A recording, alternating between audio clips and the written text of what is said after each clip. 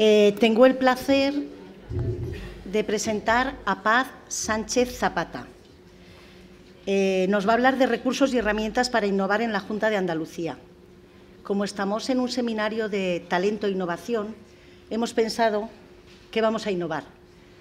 No os voy a decir ni qué ha hecho ni qué ha sido, simplemente lo que hace y lo que es. Es una innovadora, eh, es responsable del programa de, innovación pública en la Junta de Andalucía, eh, propugnado desde el IAP, desde el IAP andaluz. Eh, cree lo que hace, hace lo que cree y su motivación es aprender, aprender con los demás, para evolucionar democráticamente y con los demás. Y además, mientras los matemáticos hacen los algoritmos, creemos que los funcionarios y las funcionarias debemos permitirnos innovar en pequeñas cosas que seguramente darán muy buenos resultados. Entonces os dejo a Paz Sánchez Zapata para que nos explique un poco los recursos y herramientas para innovar en la Junta de Andalucía. Pues eh, muy buenas tardes a todos y a todas. Eh, en primer lugar, agradecer al Instituto por invitarnos a, a contar lo que hacemos. Me siento un poco abrumada con la plantilla de ponentes brillantes que he tenido antes de hablar yo y además eh, un poco perjudicada porque es la última hora y estaréis todos cansados y, me toca intentar distraeros un poco. Em, bueno, pues eh, yo os voy a hablar precisamente de lo que ellos han estado hablando aquí, que ha salido permanentemente en sus eh, conversaciones, en su discurso, ¿no? que es cómo se hace esto, cómo se cambia la cultura de la... cómo se pone en marcha un sistema que eh, produzca un cambio cultural o que produzca que la gente empiece a pensar de otra manera. ¿no? Eh, es decir, os voy, a, os voy a hablar de algo mucho más pedestre que el futuro, que hemos estado viendo ahora. Os voy a hablar del presente y de lo que cuesta realmente eh, ir cambiando las cosas, ¿no? la energía que hay que poner, pero a pesar de todo eh, lo gratificante que es el proceso. Yo os voy a contar aquí especialmente las luces, eh, porque creo que hay muchas luces en todo el, proceso que hemos seguido, pero también hay sombras, hay sombras que tienen que ver con lo que Carles antes había dicho de, cómo, de cómo se, había que molestar al sistema ¿no? para hacer tu trabajo, pues, pues si eres eh, alguien que quiere introducir la innovación en la administración pública, tienes que molestar al sistema ah, permanentemente y además convencer a los demás que están contigo en que ellos también tienen que molestar al sistema, lo cual es realmente un trabajo eh, titánico. Bueno, os voy a poner aquí, ¿eh? no sé cómo pincho aquí un pequeño vídeo, porque así además me tiene un poquito de música.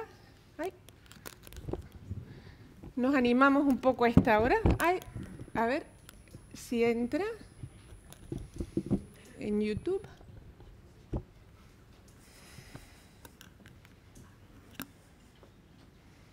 No sé si... Ah, parece que sí. Pero no se ve. Ah, tengo que cambiar de pestaña yo. Un momento. ¿Qué hago entonces?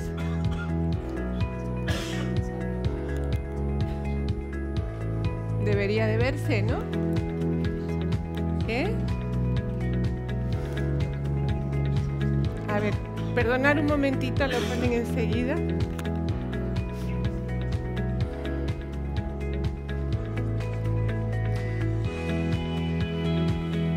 Ponlo al principio si no te importa.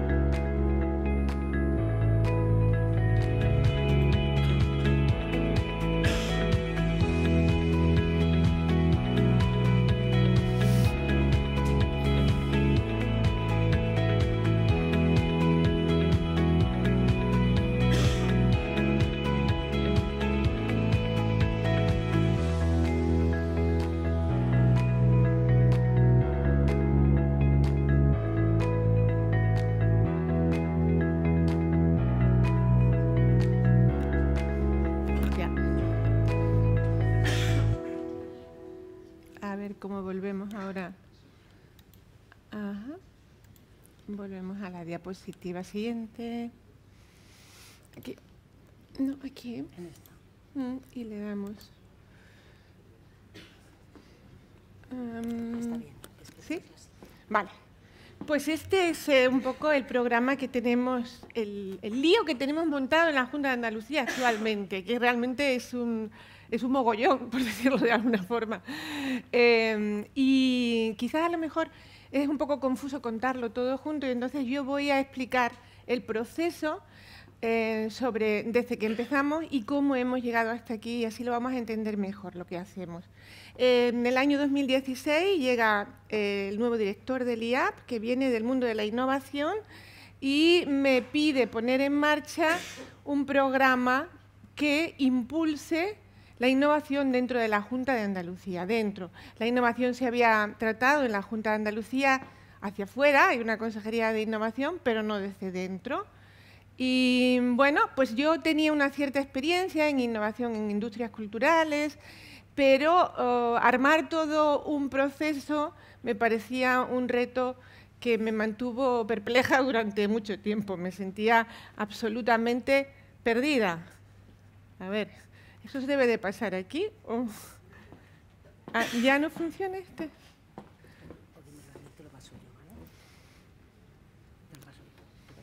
¿Y qué le pasa? Es que... ¿Sí?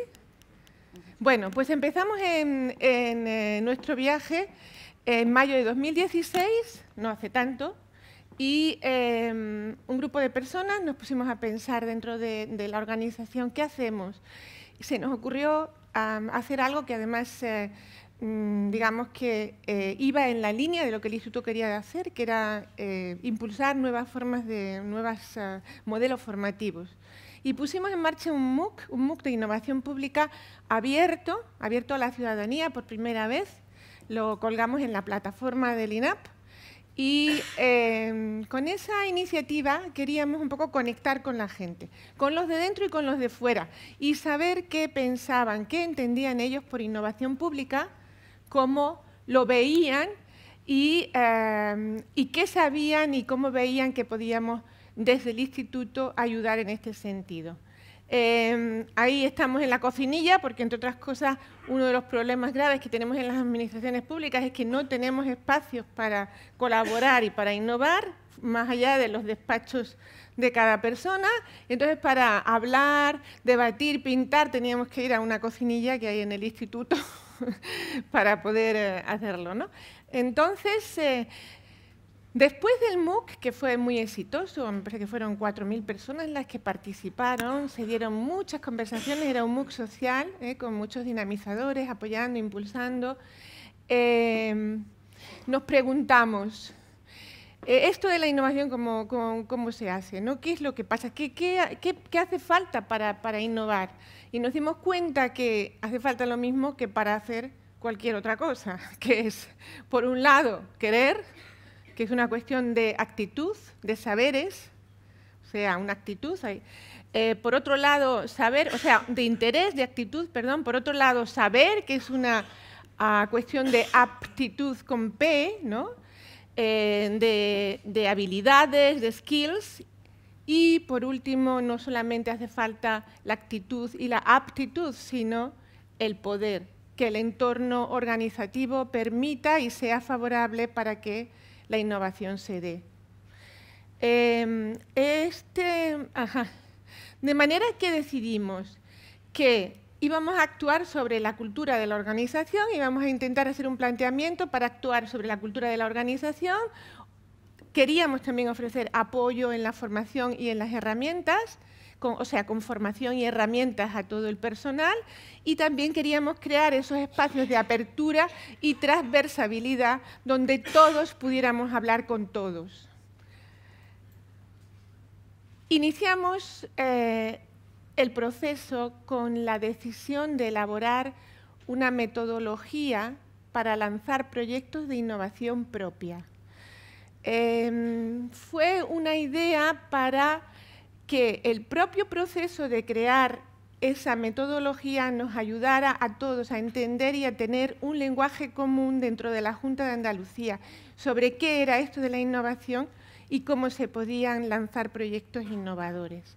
Iniciamos un, proceso participativo y colaborativo eh, en el que hicimos mucho hincapié en la participación proactiva y corresponsable, utilizando sistemas, eh, eh, que, entornos donde se propiciara las conversaciones, las preguntas, mm, se propiciara, digamos, ambientes donde, contextos donde la inteligencia colectiva aflorara y se creara conocimiento. Y mm, em, bueno, eh, nos pusimos de acuerdo, la verdad que fue un taller, elegimos a 35 personas seleccionadas por sus perfiles en distintos ámbitos de la administración y nos pusimos de acuerdo en el concepto de innovación pública. Voy a pasar algunas cosas porque como ya se han dicho en las, ah, ponencias anteriores, para nosotros la innovación pública quedamos de acuerdo en que era crear valor público haciendo las cosas de un modo significativamente diferente, entendiendo valor público como el beneficio percibido por la ciudadanía. Tú puedes pensar que estás haciendo algo para el bien de la ciudadanía, pero si la ciudadanía no lo percibe como tal, no tiene valor público. Y también nos pusimos de acuerdo en cuatro términos claves. Uno, que son, voy a tener que beber a menudo porque tengo un poco de catarro, y la verdad, déjame este porque se me hace... Mm, bueno, llevo la botella. Sí, mejor. Cuatro términos claves. Uno, ¿qué son oportunidades? Entonces, las oportunidades son todos los problemas, las carencias, eh, las, eh, bueno, pues las posibilidades que hay de mejorar en un entorno de trabajo, en un entorno administrativo, en un entorno de servicios, en un entorno de la administración pública. ¿Qué es un reto? ¿Se puede ya? bueno, pues un reto es la oportunidad o problema concreto que ya hemos elegido para trabajar de esas oportunidades y que tiene una definición preliminar y que necesita todavía de una investigación para conocerlo mejor y comprenderlo nos pusimos de acuerdo en qué entendíamos por proyecto, que era la concreción mucho más precisa del reto y que ya incluía la propuesta de solución. Y, y que era la innovación, que es la solución esta implementada en la administración pública con un impacto real en los procesos en la ciudadanía. Entonces, eh, nos bueno, esto digamos que esto era como un viaje que había que emprender con una serie de etapas y fue esto lo que digamos que nos sirvió de metáfora para crear después eh, la simbología eh, de, la, de, la, guía de innovación que hemos creado, la InnoGuía se llama. Uy, ¿yo he sido? Ah, bueno. Pues en realidad construimos una guía una guía que es un viaje en tren. Elegimos además una empresa que, de pensamiento visual. Queríamos tener materiales eh, eh, creativos, materiales atractivos para que a la gente eh, le apetezca visitarlos. ¿no? Y em, es, ideamos un viaje en tren que sale de una estación de salida donde uno se mm, dota de conocimientos, digamos, y una vez que los tiene, emprende ese viaje que tiene nueve pasos o estaciones hasta la estación innovación. Eh, la guía para innovar en la Junta de Andalucía finalmente es, eh, bueno, pues se puede descargar, como veremos ahora en el, en el este es un, un documento que es virtual y eh, quizás en la, web es todavía más atractivo que, eh, porque es un poco interactivo y te va guiando de una forma bastante intuitiva y podéis entrar todos con el teléfono cuando queráis, es eh, ¿vale? Entonces, em, como os digo, está basada primero en una estación eh, inicial de salida donde te preparas, donde conoces eh, ¿Cuáles son los, ¿Cómo se hace un diagnóstico de tu entorno? ¿Cuáles son los retos? ¿Cómo se localizan los retos en tu entorno de trabajo? se habla también en general cómo se crean contextos favorables para la innovación, qué es la cultura innovadora y eh, cómo se gestiona el cambio, eh, que son herramientas necesarias para iniciar cualquier proceso de innovación. Y después, pues hay ya, como os digo, una hoja de ruta de nueve pasos o estaciones que te van llevando por un recorrido eh, muy fácil de seguir con herramientas que te van ah, guiando en, qué es lo que tienes que hacer de una forma ordenada y sencilla, de manera que cualquier eh, funcionario de la Administración pueda entender qué es esto de la innovación y cómo se hace. Eh, dividimos los eh, nueve pasos, las nueve estaciones, en tres escenarios em, que coinciden, digamos, con tres tramos de la ruta del tren. Uno que es la, incubación, otra la definición y otro la ejecución, que además se corresponden con el escenario de que si no sabes por dónde empezar, vete al paso 1 y empieza desde cero. Si ya tienes un reto, porque ya eres un inquieto y ya sabes lo que quieres hacer, puedes empezar por, el, por la fase, por el tramo 2 de definición, o si tienes ya el proyecto definido, pues puedes irte al tramo 3 directamente. Eh, aquí tenemos la reta completa, desde que se inicia. Es un, no es, una metodología lineal, la hemos pensado para hacer círculos iterativos, de manera que si tú estás en el, paso, em, pues no lo sé, decirte, imaginar soluciones y te das cuenta de que eh, no encaja lo que no te sale, no encaja, algo has hecho mal, pues puedes volver a, investigar a fondo el reto o volver a, completar ese equipo que probablemente te esté faltando alguna persona. Em, tiene una vocación además autodidacta, o sea que yo creo que si entráis y lo miráis vais a ver que se guía, ah, se hace, se lleva el proceso muy fácilmente, no, se necesita prácticamente ni pensar. Em, como os digo, en la estación de salida ya os he contado lo que hay, es toda la información sobre lo que entendemos por innovación en la administración pública, eh, los ámbitos en los que se puede eh, innovar, yo creo que es un buen trabajo eh, diagnóstico de por qué no se innova en la administración pública. Y eh, ya una vez que tenemos eh, esos conocimientos, empezamos con nuestro viaje. Y el viaje se inicia con una estación primera donde mapeas, se te enseña cómo mapear las oportunidades para investigar que tienes en tu entorno. Después de ese mapeo de oportunidades, cómo elegir el reto adecuado que tenga una posible solución. Eh, cómo crear tu equipo, que es importantísimo, saber con quién haces el viaje, ¿no? En todo viaje.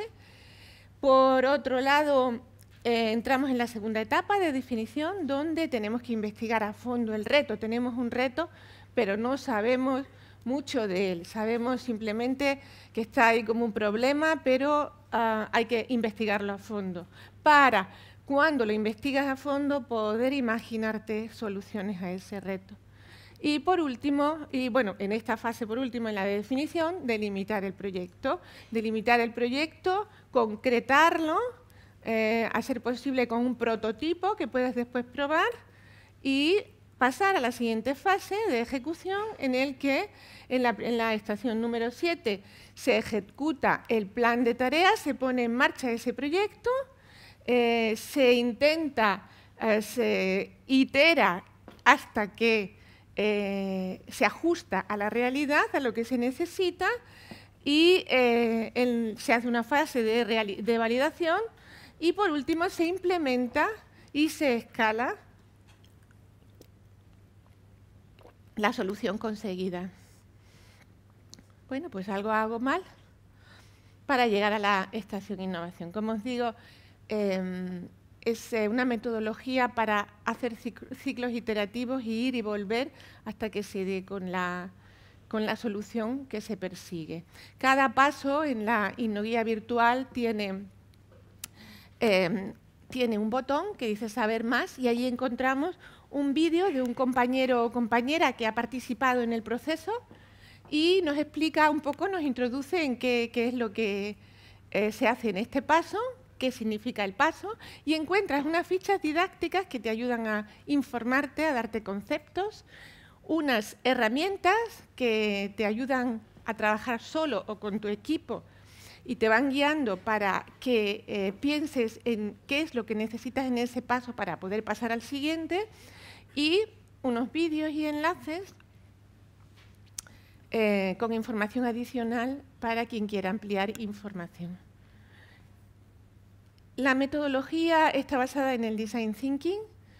Eh, como inspiración, el Design Thinking, como sabréis muchos, es una técnica de resolución creativa de problemas que pone en el centro a las personas, sirve para cualquier ámbito de la innovación y pensamos que era muy apropiada para eh, la administración pública, puesto que, como aquí se ha dicho previamente, nuestro objetivo, nuestro, eh, nuestra razón de ser es el servicio a la ciudadanía.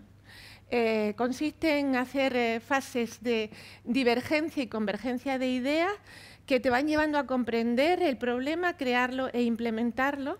Y le hemos añadido también algunos conceptos de eh, la metodología Lean y, Agile, porque en el sentido que va a, mm, va a lo preciso, a liberarse de accesorios, al grano, y además eh, está basada en la iteración continua y en la creación continua. Bueno, aquí tengo los fundamentos de la, metodología que los voy a pasar muy deprisa porque hemos hablado ampliamente de ellos.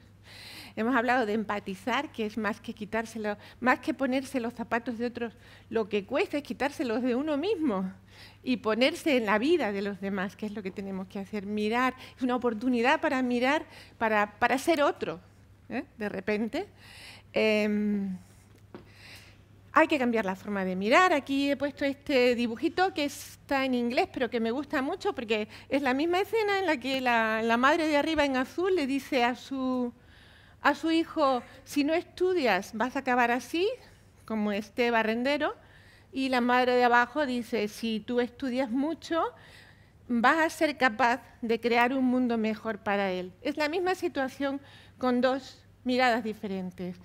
Em, es muy importante, es muy importante saber eh, librarse de prejuicios, librarse de prejuicios, digamos además aplazarlos, los juicios, y eh, saber mirar con, una mirada limpia, ¿no? Para ello hay que desaprender, obviamente hay que desaprender todo lo que se tiene dentro y alejarse es un poco el ejercicio que nos ha hecho aquí Álvaro, que me parecía muy bueno, porque de repente bajas de otro planeta y miras y es como si, em, como si la realidad no, la vieras desde otro sitio. Y eso yo creo que es eh, imprescindible para, para poder innovar. Salirte del espacio. Imaginar, si lo crees, lo creas. Imaginar es algo que nos parece... Em, muy, eh, nos parece, de hecho, nosotros nos eh, asusta hablar de la imaginación, de la creatividad, porque hay muchos funcionarios que dicen, no, yo de eso no tengo nada, eso no es para mí. Bueno, todo el mundo eh, sabe imaginar, todo el mundo Ah, es creativo de alguna manera y lo que hay que hacer es practicar, practicar con em, objetivos pequeñitos que te vayan dando confianza para pasar al paso siguiente. Aceptar la ambigüedad, por supuesto, todo esto hemos hablado anteriormente, tenemos que saber convivir con la incertidumbre, cosa que en la administración pública no sabemos. Cuando iniciamos un proyecto no sabemos cómo va a ir y eso nos incomoda, nos incomoda mucho. Tenemos que saber aprender, tenemos que aprender a convivir con la incomodidad. ¿no? Eh, ser optimista, por supuesto. Si tú desde el principio piensas que algo no va a salir, no va a salir, desde luego.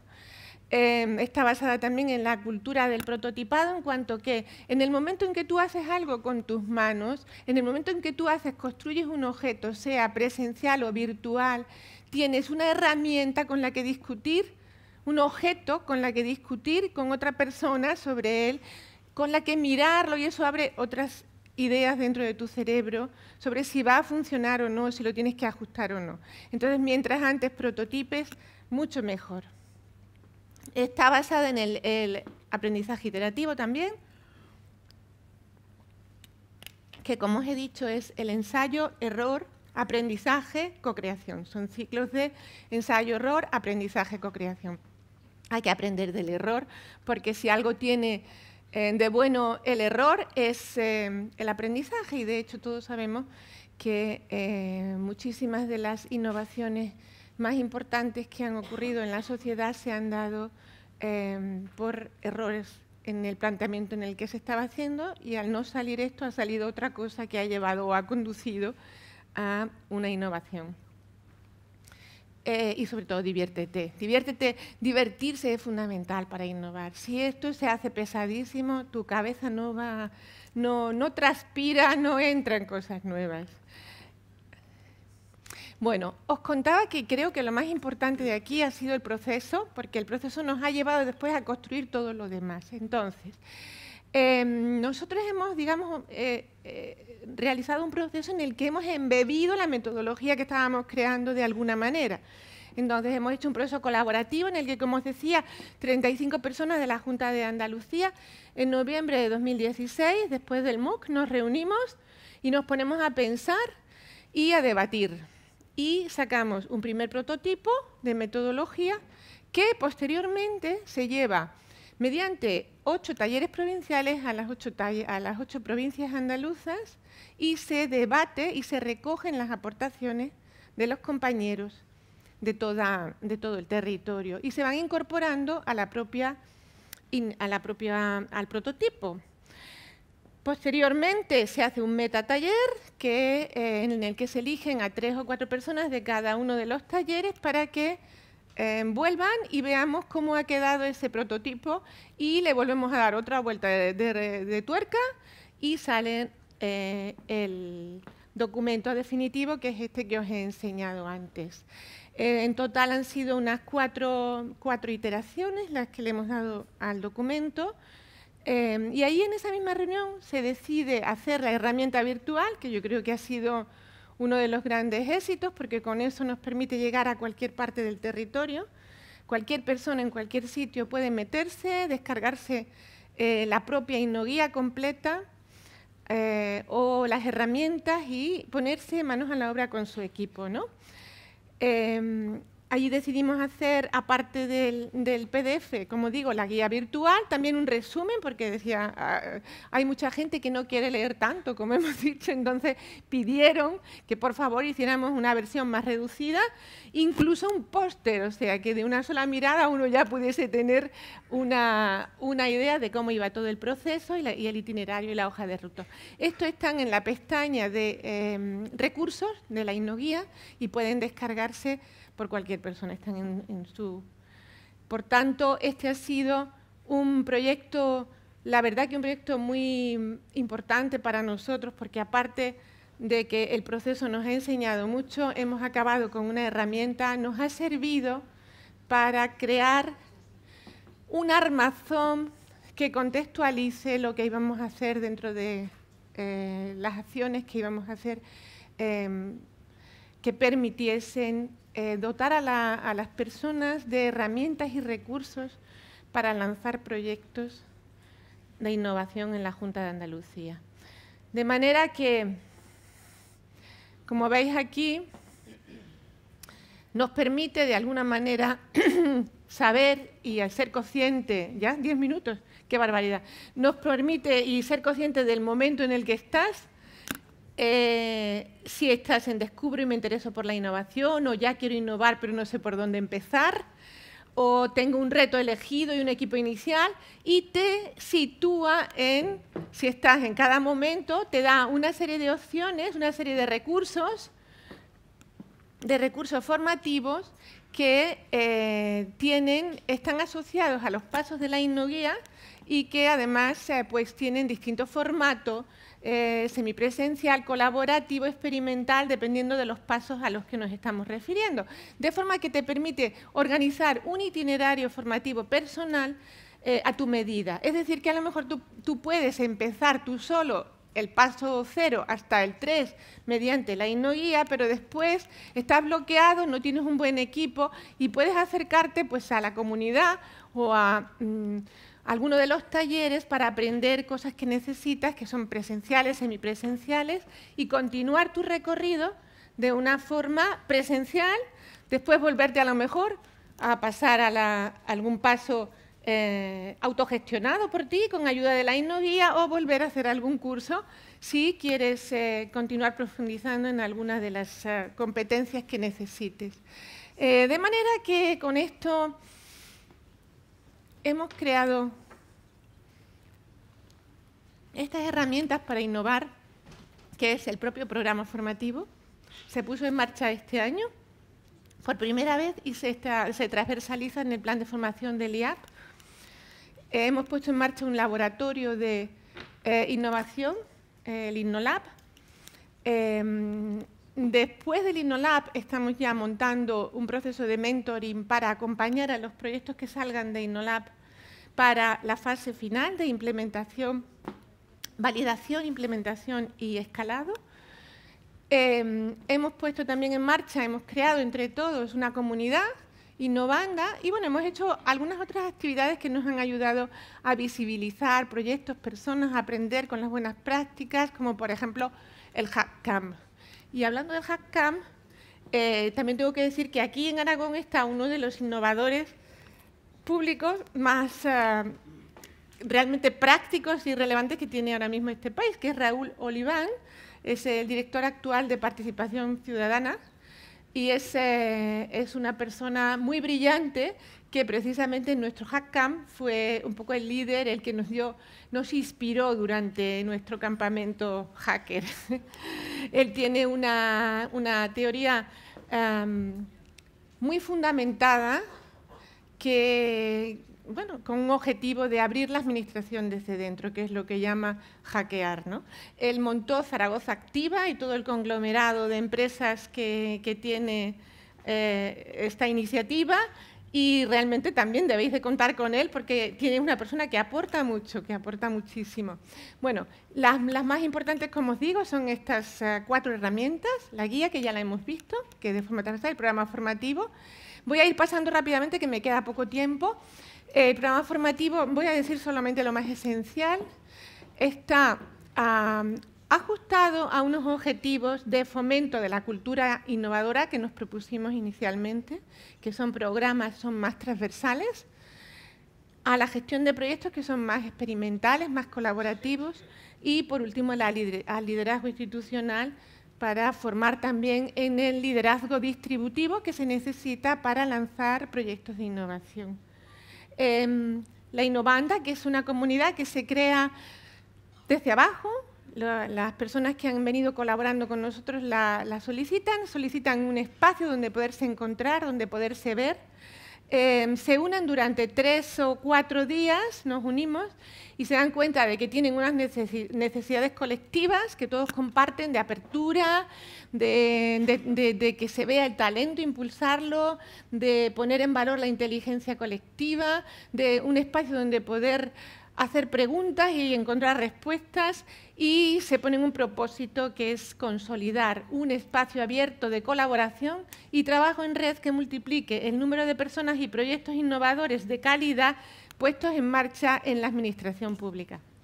Entonces, vaya por Dios, eh, como hemos dicho aquí anteriormente, sin impacto no real no hay innovación y, por tanto, es una comunidad que se crea inicialmente para dentro de la administración pública, pero tienen vocación de incorporar a la ciudadanía poco a poco y de hecho lo estamos haciendo. Y es un espacio centrado en proyectos, pero también en oportunidades de aprendizaje. Eh, hay una serie de objetivos que se marcan, que van, por supuesto, acordes con las necesidades que se habían planteado. ¿Y cómo se implementa esto? ¿Cómo, ¿Cómo, hacemos la comunidad? ¿Cómo hacemos que funcione? Pues eh, centramos tres desafíos. Uno primero, que era la gestión, queríamos una organización con una gestión distribuida. Un segundo, que era que necesitábamos escalar los participantes, porque una comunidad con 35 o 50 o 100 personas no es realmente una comunidad donde uno pueda enriquecerse.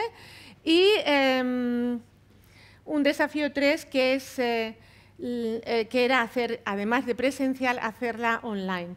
Y bueno, pues eh, organizamos, rechazaron los propios integrantes una organización jerárquica y bueno, pues fueron a una organización mucho más dinámica y de, red, en el que los grupos de trabajo se pongan en contacto con ellos, unos con otros, de forma autónoma. Marcamos unas líneas horizontales de trabajo donde vamos a colgar nuestros, nuestros proyectos, nuestros retos, y empezamos con unos primeros retos ya, Eh, algunos son horizontales de fortalecimiento de la comunidad y otros verticales de mejora en el ámbito laboral.